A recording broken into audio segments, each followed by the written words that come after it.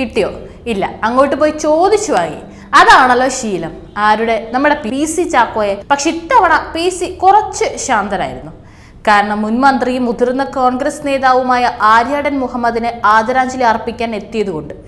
അവിടുത്തെ അവസ്ഥയെക്കുറിച്ച് നല്ല ബോധവാനായതുകൊണ്ട്. എന്തായാലും കോൺഗ്രസ്സുകാർ കാണിച്ചത് കുറച്ച് കടുത്തുപോയി എന്നേ പറയാൻ പറ്റുള്ളൂ. അതിപ്പോൾ പി സി അവരുടെ എത്ര വലിയ ശത്രു ആണെങ്കിലും അല്ലെങ്കിലും സംഭവം എന്താന്ന് വെച്ചാൽ മുൻ മന്ത്രിയും മുതിർന്ന കോൺഗ്രസ് നേതാവുമായ ആര്യാടൻ മുഹമ്മദിനെ ആദരാഞ്ജലി അർപ്പിക്കാനെത്തിയ എൻ സി പി സംസ്ഥാന പ്രസിഡന്റ് പി സി ചാക്കോയെ അവിടെ വെച്ച് തന്നെ അധിക്ഷേപിച്ച് കോൺഗ്രസ് പ്രവർത്തകർ. പിന്നെ കോൺഗ്രസ്സുകാർക്ക് അവരുടെ സ്വഭാവം പുറത്തു കാണിക്കാതിരിക്കാൻ പറ്റില്ലല്ലോ. ആര്യാടൻ മുഹമ്മദിന്റെ മൃതദേഹം കണ്ട് മടങ്ങുന്നതിനിടെ പി സി ചാക്കോയെ വീട്ടുമുറ്റത്ത് വെച്ച് കുലംകുത്തി എന്ന് വിളിച്ചായിരുന്നു കോൺഗ്രസ് പ്രവർത്തകരുടെ പ്രതിഷേധം. ആര്യാടൻ മുഹമ്മദിന്റെ വീട്ടിൽ നിന്ന് ഇറങ്ങുന്നതിനിടെ കുലംകുത്തിക്ക് പോകാൻ വഴി കൊടുക്കൂ എന്നായിരുന്നു വിളിച്ചു പറഞ്ഞത്. എന്നാൽ ചില പ്രവർത്തകർ അധിക്ഷേപ പരാമർശം നടത്തിയ ആളെ ഉൾപ്പെടെ ശകാരിച്ച് പെട്ടെന്ന് തന്നെ രംഗം ശാന്തമാക്കുകയും ചെയ്തു. ആര്യാടൻ മുഹമ്മദ് കമ്മ്യൂണിസ്റ്റ് വിരുദ്ധനായിരുന്നില്ല എന്ന് പറഞ്ഞായിരുന്നു പി സി ചാക്കോ അദ്ദേഹത്തെ അനുസ്മരിച്ചത്. എന്തായാലും സാധാരണ നിലയിലുണ്ടായിരുന്ന പി സി ആയിരുന്നെങ്കിൽ ആ വിളിച്ചവരുടെ കാത്തടുപ്പിക്കുന്ന ചീത്തയും വിളിച്ചേ പോവുള്ളായിരുന്നു. പക്ഷേ അതൊരു മരണാന്തര ചടങ്ങും കൂടെ ആയതുകൊണ്ട് പി സി ഒന്ന് വാടച്ചു കോൺഗ്രസ് പ്രവർത്തകരുടെ പ്രതിഷേധങ്ങൾക്ക് ശേഷമായിരുന്നു ഇത്.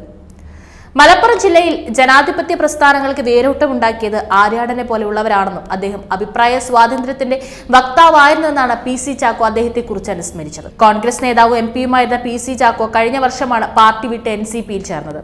പി സി ചാക്കോ നാല് തവണ കോൺഗ്രസ് സ്ഥാനാർത്ഥിയായി മത്സരിച്ച് ലോക്സഭയിലെത്തിയിരുന്നു. ഒരു തവണ എം എൽ എയുമായി.